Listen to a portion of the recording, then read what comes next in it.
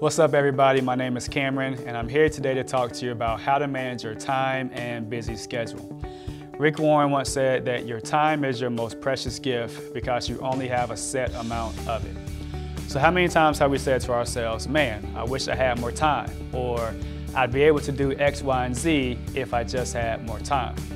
And the truth is, for most situations, the problem isn't that we don't have enough time, the problem is that we did not tell our time where to go.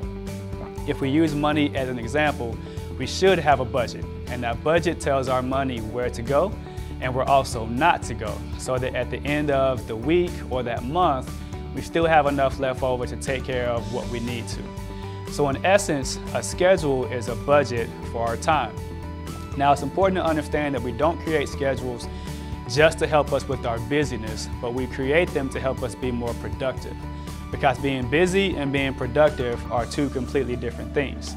There's a quote that says, unsuccessful people are busy being busy, while successful people are busy being productive. And that's what we want to be. Even in um, Ephesians chapter 5, verses 15 through 16, it tells us to be careful how we live, be wise, and make the best use of our time. So I believe that having a schedule is very vital and fulfilling everything that we need to do on a day-to-day, week-to-week, month-to-month, or even year-to-year basis. And that will help us fulfill the purpose that God has for our life. So let's talk about how to create a schedule in a few simple steps. I first recommend that you um, have at least two schedules. One for your work time, or if you own your own business, and another for your personal and or family time. And if you are married, I do recommend that you include your wife in this process because there are things that she'll need time for that will affect your schedule. So step one is to find a method that works best for you. Um, there is no one size fits all um, method for scheduling. And also understand that it will be a process that will involve trial and error. So don't get discouraged if it takes you a few times to figure out a schedule that really works well for yourself and or your family. Just keep making the changes, keep making the tweaks as you go along, and don't give up. Step two is to list out all of your to-dos. Now this is just a big brain dump, so don't worry about being organized too much at this step. But these, this is going to include things like um, what you're currently doing, things that you should be doing but are not doing yet, and then also things that you want to do. Now, once you have all those listed out, you can move to step three, which is prioritize that list, but also write out beside each one how many days of the week those things need to be done or how many days of the week you want to see those things done depending on what that item is.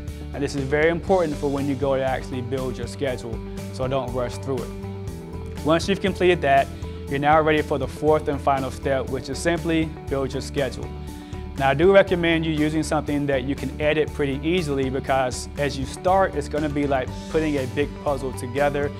You'll be moving things around, changing things, and just you know coming up with the best um, schedule for yourself. So I, for example, use Google Calendar. I just like the way that it works. Um, I like being able to build out several calendars, and I can see them all at the same time on any device that I'm using. I actually personally have four calendars. Um, because of what I do for work, I have two for work.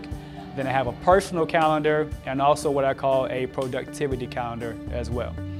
Now, as you start piecing things together, you want to start with the things that already have set times and days in your week. And then build everything else around that based on the priority that you gave them in step three. Also understand that you will be having to probably change time frames of things um, here and there to fit things together. And some things might not even make the final cut, and that's okay. That's again why we prioritize in step three. Just keep those things um, for the future, and as things change and your schedule opens up, start sliding those things in there.